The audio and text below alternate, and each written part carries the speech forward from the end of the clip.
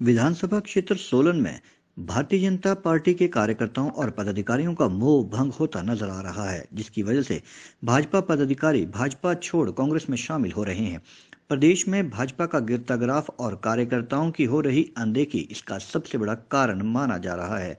पहले भी कुछ महिलाओं ने भाजपा को छोड़ कांग्रेस का दामन थामा था, अब कुछ ही दिनों बाद भाजपा को एक और बड़ा झटका लगा है, क्योंकि इस बार ग्राम पंचायत कनेर की दो पंचायतों के बूथ प्रभारी अपने साथियों के साथ कांग्रेस में शामिल हुए हैं।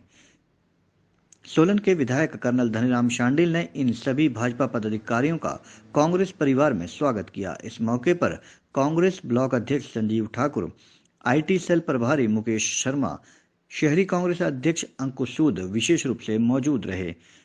कांग्रेस ब्लॉक अध्यक्ष संजीव ठाकुर ने भाजपा छोड़ कांग्रेस में शामिल हुए आधा दर्जन कार्यकर्ताओं का पार्टी में स्वागत किया और भाजपा पर तंज कसते हुए कहा कि प्रदेश की भाजपा के साथ आज भाजपा कार्यकर्ता भी उनकी जन विरोधी नीतियों से तंग आ चुके हैं। भाजपा कार्यकर्ताओं की लगातार उनके संगठन में अनदेखी हो रही है।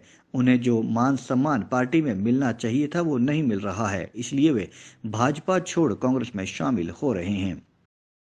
ब्लॉक कंडाघाट की ग्राम पंचायत कनैर से, जो पूर्व में प्रधान रही श्रीमती कमलेश शर्मा जी, उनके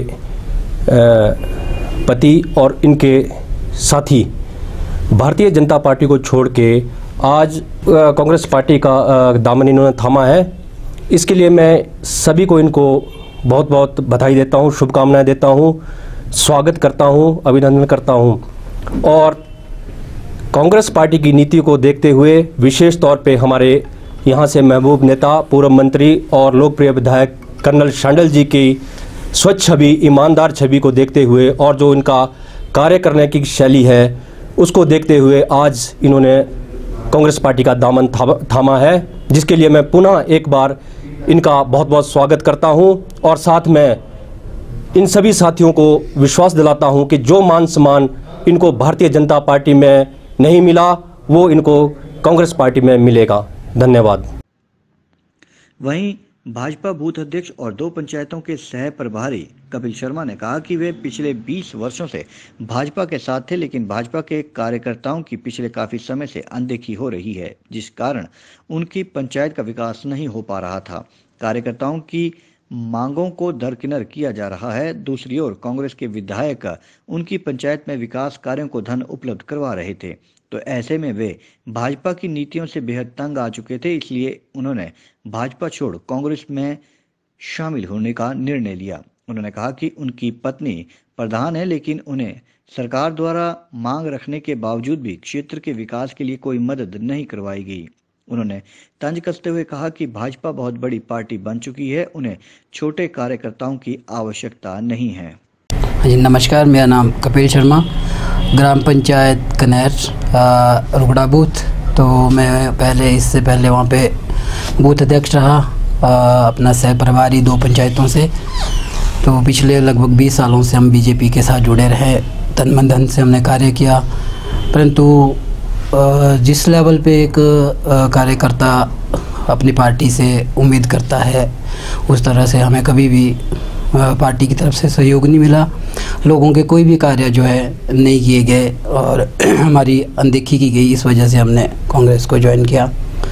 तो इतने टाइम से हमारे, जो हमारे अपने छोटे छोटे काम होते हैं छोटे छोटे जो मुद्दे रहे हैं, वो कोई भी कार्य जो है हमारे सिरे नहीं लगे। पिछले पाँच साल से आ, मेरी मिसेज प्रधान रही। तो उसमें भी हमारे को कोई भी पार्टी की तरफ़ से या सरकार की तरफ़ से किसी भी तरह का सहयोग नहीं मिला। तो इसलिए हमने पार्टी को छोड़ दिया है। तो क्या हमारे टोटली काम कोई भी नहीं हुए पिछले पाँच सालों में।